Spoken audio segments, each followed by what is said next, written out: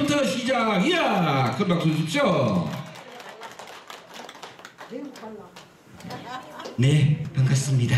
네, 제 노래 이제부터 시작이야. 한번 다시 한번 가겠습니다. 네.